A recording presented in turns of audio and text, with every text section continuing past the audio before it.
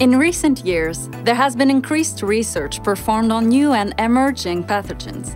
The race to find ways to stop the spread of these infectious diseases has also been accompanied by an increase in the number of laboratories handling these organisms.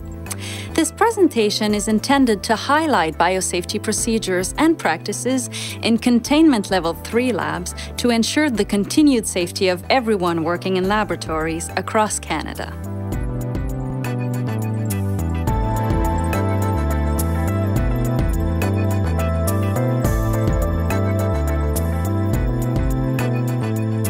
In Canada, laboratories are assigned a containment level from 1 to 4. As the containment level increases, so must the necessary safety measures. A lab is designated as containment level 3 when it can handle agents that can be transmitted by the airborne route to produce serious or potentially life threatening diseases with just a small dose. Containment Level 3 laboratory features are intended to prevent transmission and minimize the release of infectious organisms into the immediate laboratory and the environment. Information on specific operational practices and physical requirements for Canadian laboratories is available in these guidance documents produced by the Public Health Agency of Canada and the Canadian Food Inspection Agency. International guidance for laboratory safety is provided by the World Health Organization.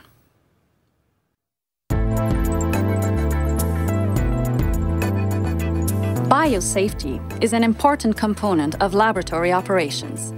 The biosafety officer's duties are to manage these issues, which can include performing risk assessments to determine the lab's appropriate containment level and reviewing standard operating procedures, or SOP for short, that are specific to the lab's activities. Facilities handling infectious agents need not only a biosafety program, but also a biosecurity plan in place. A responsible official can be assigned to develop, train, and implement the safety, security, and emergency response plans. As part of a containment level 3 lab safety concerns, a health and medical surveillance program needs to be appropriate to the agents handled in that lab. Only people meeting the medical requirements may enter the laboratory.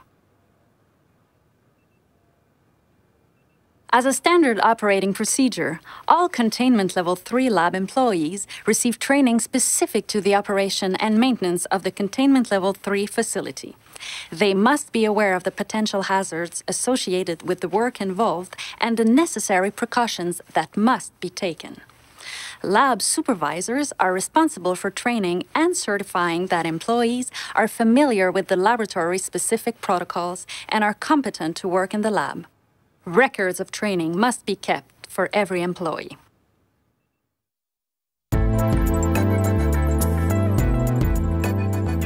In this Containment Level 3 lab, as in many facilities, you access the lab from a main corridor that connects to offices and other labs with lower containment levels. The containment laboratories are separated from all public areas, limiting access to authorized personnel only. Notice that all office areas are outside the containment area itself. Signage also identifies what hazardous materials are being used in the facility and who to contact in case of an emergency. Here in the anteroom is where you monitor and record the air pressure readings. Check them every time before you enter the lab. If there's something wrong with the air handling system, audio or visual alarms will warn you. Before entering the lab, it is important to sign in. A logbook or some means of documentation must be maintained to monitor the entry and exit of personnel from the Containment Level 3 laboratory. To get into the lab itself, you need to swipe your ID card and enter a personal identification number. A double key system, such as this one, can further restrict access. A Containment Level 3 lab has a clean side and a dirty side. The objective of containment level 3 facilities is to minimize the release of infectious aerosols from the laboratory. The main point to remember about physical barriers in a containment level 3 lab is that no two doors should ever open at once. To ensure this doesn't happen, these doors have an interlock system or appropriate standard operating procedure in place. As each facility's design differs, entering your Containment Level 3 facility should be the subject of a detailed standard operating procedure specific to your facility. Pathogens in a containment level 3 lab usually pose an increased risk of aerosol spread. To reduce the potential for transmission of these pathogens, you have to remove all your street clothes, including jewelry and socks, and change into dedicated laboratory clothing or scrubs, including clean socks and head cover. Whether you are required to remove your undergarments depends on your facility's SOP. A word about your respirator. This is your most important piece of personal protective equipment. It has to fit you. You must be fit tested prior to working in a facility to ensure appropriate respiratory selection and use. To be effective, respirators must provide a proper sealing surface on the wearer's face. A powered air purifying respirator equipped with high efficiency particulate air or HEPA filters should be worn by personnel who cannot wear fitted respirators because of facial hair or other fit limitations. Next, put on your laboratory protective clothing. A solid front gown with tight fitting wrists and gloves that fit over the wrists. Put on protective glasses and make sure that you have all the material you will need with you before crossing through the shower into the dirty change area. You can either keep a pair of shoes for working inside the lab or wear shoe covers. If you have dedicated shoes, remember they are now considered contaminated so they can't come out. All these protective clothing layers are necessary for your protection. And for increased safety, a buddy system must be implemented. We recommend that at least two people should be working in the Containment Level 3 lab at any time. If that is not possible, other means of monitoring or surveillance must be in place.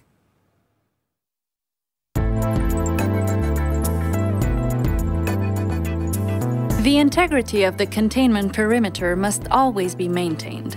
As lab workers, most design issues may not be a consideration in your everyday work, but here are a few of which you should be aware. Bench tops and working surfaces should be made of non-absorptive, non-organic material with no open seams. They should have rounded edges that are easy to clean. A cove from floor to wall is a good idea, but what's most important is that the seams where walls and floor meet be continuous. One last thing, all coatings must be cleanable and must be able to withstand chemical disinfection and fumigation. The requirements for heating, ventilation, and air handling can vary depending on the transmissibility of the pathogen that will be handled in the lab.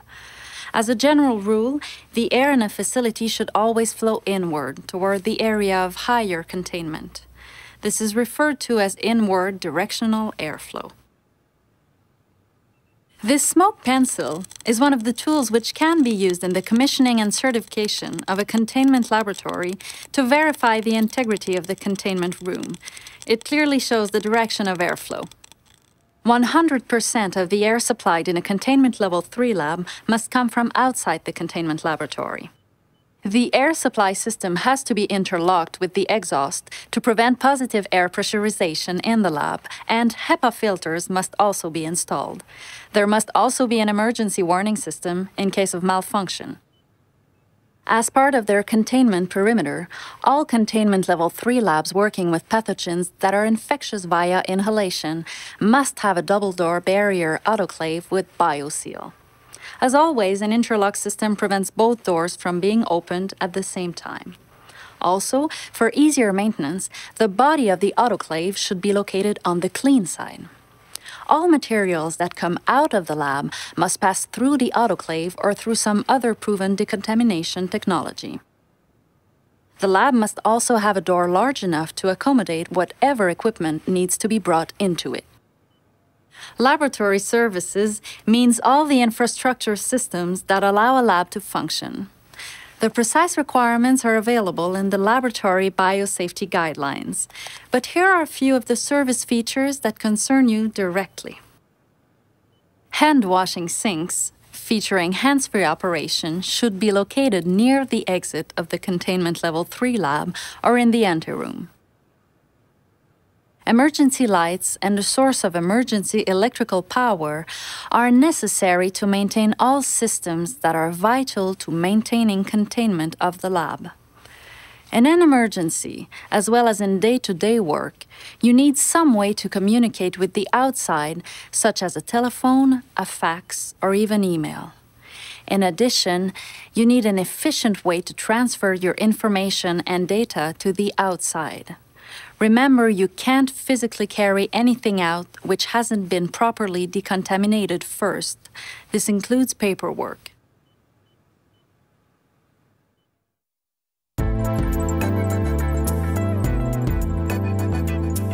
All lab workers who handle infectious substances run the risk of being exposed to these pathogens, either by accident or through improper operational practices. The objective of these operational practices includes reducing the potential for the creation of aerosols. To reduce the risk of inoculation, it is recommended to avoid the use of glassware and to use plastic materials instead when possible. All accidents must be reported, even minor ones. A small cut, which probably didn't draw blood, or a small splash could lead to a health problem, not just for yourself, but for your community, should an infection occur and spread. In a containment level 3 lab, you always handle open vessels containing infectious materials inside a biological safety cabinet, a BSC for short. BSCs provide protection from exposure to infectious aerosols and splashes that may be generated when handling infectious agents. There are three classes and various types of BSCs. Different classes of BSCs offer varying levels of personnel, product, and environmental protection. An assessment based on the activities to be carried out in your lab should be undertaken to determine which BSC best meets your lab's needs. Aside from your personal protective equipment, your primary protection in a containment level 3 lab is offered by the BSC. Each BSC must be professionally checked once a year. Due to their importance, we will take the time to go over their operational procedures in detail. The first step is setting up the BSC. Turn off the ultraviolet lights, Turn on the cabinet blower and fluorescent lights. Check air intake and exhaust grills for obstructions. Confirm inward airflow by verifying gauges or by some other means. Disinfect the interior surfaces. Always using a trolley, bring your assembled material to the BSC. Load the articles into the cabinet. You should separate them into clean and dirty. Wait 5 minutes prior to starting your work. The second step is actually working in the BSC. For maximum protection against aerosols, you should work toward the rear of the cabinet so the air flows away from you towards the rear. In order not to disturb the general airflow, avoid excessive movement inside the cabinet. And if you do need to reach out of the cabinet, remember to remove your outer gloves first and then move out your arms slowly and perpendicular to the front opening. Always allow the air in the cabinet to stabilize before resuming your work. Keep all discarded material inside the cabinet. Biological materials handled outside the BSC must be contained at all times. And when you are moving material between the centrifuge, BSC, benchtops, incubators, and refrigerators, always use a trolley or a cart and make sure you've decontaminated any material before removing it from the BSC. When you've done your work, allow the cabinet to run for 5 minutes with no activity. This will allow the BSC to purge airborne contaminants. Place all material into biohazard bags within the cabinet. Close any open containers. Surface disinfect all objects that came in contact with contaminated material. Remove contaminated gloves, dispose of them appropriately. Don clean gloves. Disinfect work surfaces and outside of biohazard bag. Regularly disinfect hidden surfaces. Turn off fluorescent light and cabinet blower. Turn on ultraviolet lights and change gloves.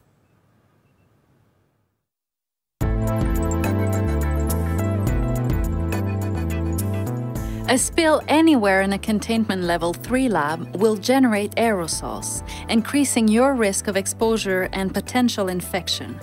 You should be familiar with the SOP detailing the cleanup procedures. That way, you will be able to respond quickly, calmly, and effectively in case of a spill. Remember, a spill counts as an accident and must be reported. If there is a spill within the biological safety cabinet, leave the BSC turned on and let the aerosol settle before disinfecting all objects in the cabinet. You should also change your gloves and protective gown before cleaning up.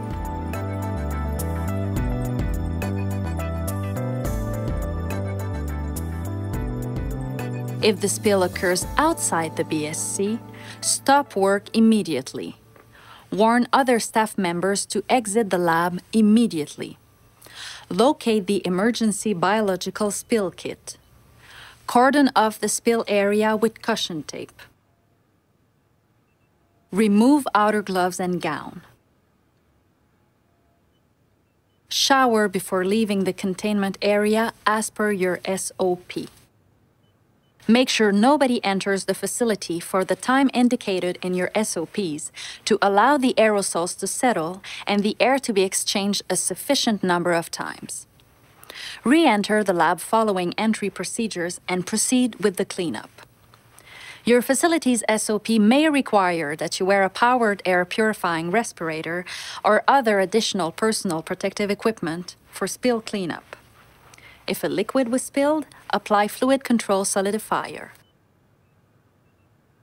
Remember to use forceps to pick up and dispose of material appropriately. Use absorbent pads to reduce the chances of splashes when applying your disinfectant.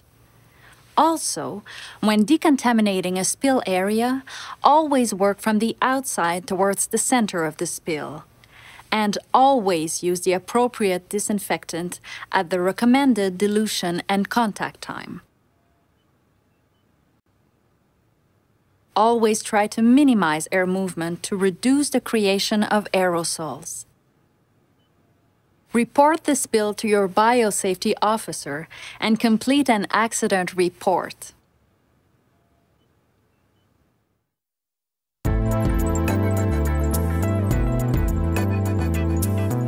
Any materials or equipment leaving the containment level 3 lab must first be decontaminated. There are various decontamination methods. The method used depends on the nature of the material you need to decontaminate and the effectiveness against the microbial group in question. It must be emphasized that you need to be trained in all decontamination procedures related to the activities in your lab, and you should refer to the specific protocol developed for your facility before you use any of these techniques. Most infectious laboratory waste is decontaminated using the autoclave. As always, an interlock system prevents both doors from being opened at the same time. You should always use biological indicators to monitor the sterilization process.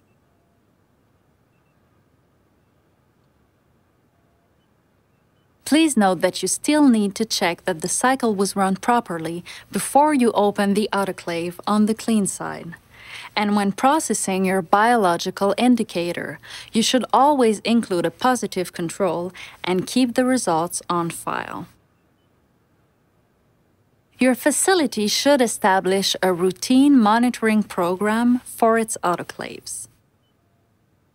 Disposal of biomedical waste in Canada is regulated by the provinces and territories, so check with the appropriate authorities in your area. Chemical disinfectants are used on surfaces and equipment that cannot be autoclaved, as well as for cleaning up spills. Choosing the proper disinfectant depends on the microbial agent you're working with and on the disinfectant's practicability, stability, compatibility with materials, and potential health hazards. Gaseous decontamination of the containment level 3 lab is only done under particular circumstances, about once a year, for maintenance work and before retesting of heating, ventilation, and air conditioning control systems.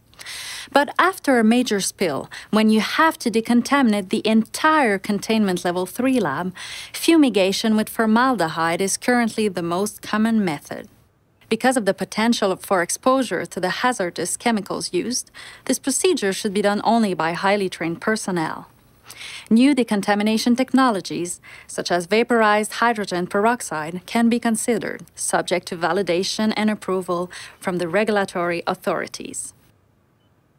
As in any lab, there are also regular house cleaning chores that need to be done, cleaning floors, walls, and disposing of waste. But because of all the precautions in a containment level 3 lab, they have to be done by trained personnel using specific procedures and materials while disposing of waste in accordance with the facility's SOPs.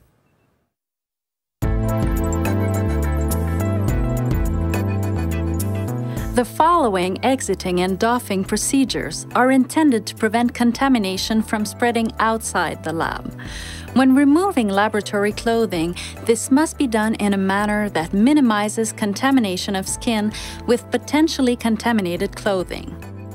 Before you leave the containment area, make sure that all waste has been properly disposed of. Remove your outer gloves and discard them into the autoclave bag. Remove the protective gown and hang it up if it's to be reused.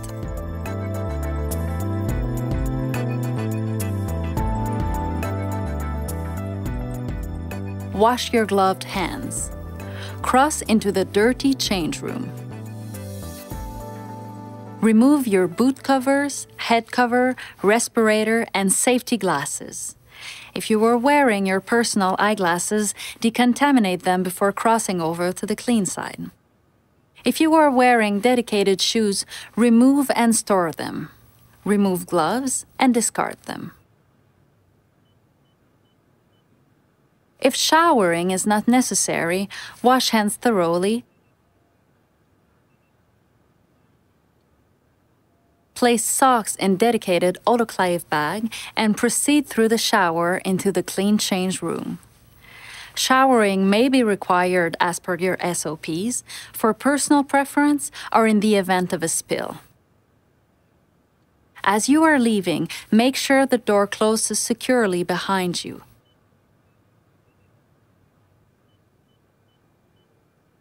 Sign out and update the personnel board.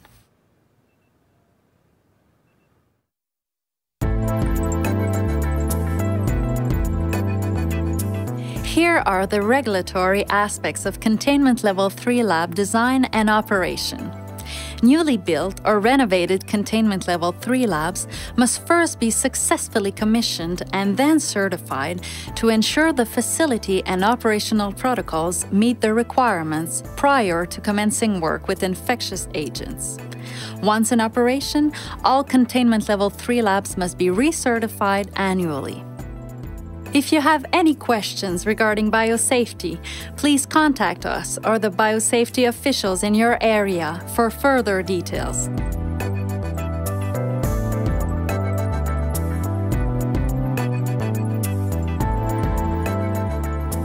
Remember, knowledge of the proper operating procedures is key to working safely in a containment level 3 lab. Thank you for your time, and remember, stay safe.